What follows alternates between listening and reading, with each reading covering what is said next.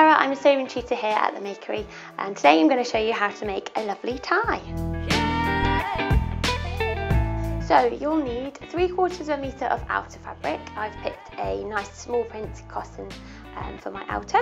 You'll need some lightweight um, iron-on interfacing, some lining fabric. I've just um, found a scrap here and just use that because you don't need very much. Um, you don't need to have a sewing machine for this project, um, but you can use one for one step otherwise it's all hand sewing. Um, you will also need your tools, your scissors, your pins, your needles, thread, that kind of thing. Um, and then you'll need a pattern as well, so a tie pattern. We've got one that you can download um, if you click the link below if you'd like a PDF. Otherwise you can buy one on our online shop if you prefer a paper pattern.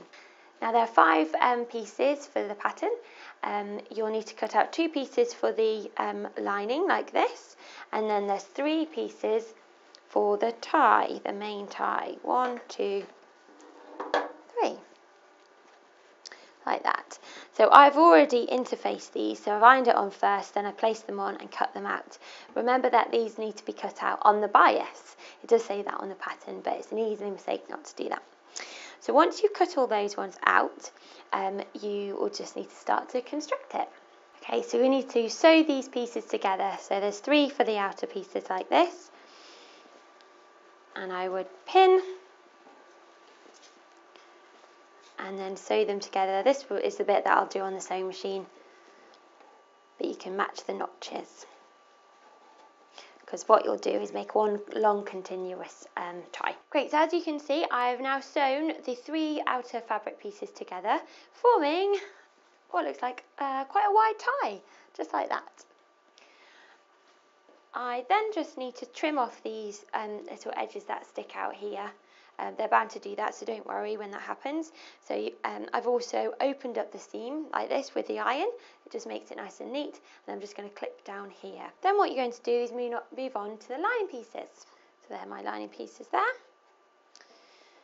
And all you need to do um, with the iron and ironing board, I'll just show you here, is you're going to fold up the tip by a centimetre like this. And then you'll fold up each of these diagonal edges here also by a centimetre. Can be a little bit fiddly, but just persist with it. Like that. And then you want to give it a good, good press. And that is called a mitered corner. You're going to be doing that to each of the um, points, so of the lining like that.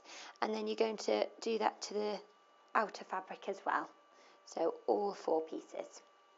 So you can see here that I have ironed all four of my points, um, creating four mitered corners, just like this. Um, so like I said, nice and sharp. And what I then want to do is um, sew the tips together here, here on all four of them, just to make them really nice and neat. So you just want to hand stitch that. Um, a ladder stitch is really good because you don't see the stitching. Um, I'll just go on to doing that now. So as you can see, I've just hand stitched the points, all four of them, just like that, um, just a quick ladder stitch to keep them in place. So the next thing I'll do is some more hand sewing. Um, I'm going to place the larger um, lining piece of fabric onto the larger of the outer fabric. I'm just going to place it on so that there's about two millimeters all the way around. Can you see here? There, and the same with the small one, too, like that the edges should match up like that. And then I'm going to pin that down and then simply hand stitch the two diagonal edges here. So what I've done here is sewn down these two edges just with a ladder stitch so you can't see it nice and neat and I've repeated that on both ends so the lining is now attached to the outer fabric. So the next step is to iron in all the way down the tie a centimetre down the two very long edges, okay, centimetre like that and like that, so press that and then you're going to iron those both in to the middle. So you're going to pop a few pins in there once you've ironed it. Okay, so as you can see, all I've now done is ironed in a centimetre all the way down the two long edges and ironed in again where they meet, just like that, just so they meet nice and neatly. I've done that all the way down the tie, like that.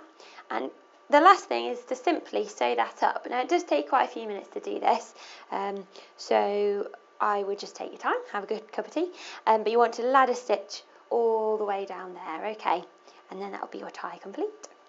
And there you have it. So I've just um, completed a ladder stitch all the way down this middle seam here, um, making it look nice and neat and you can't see the stitching at all.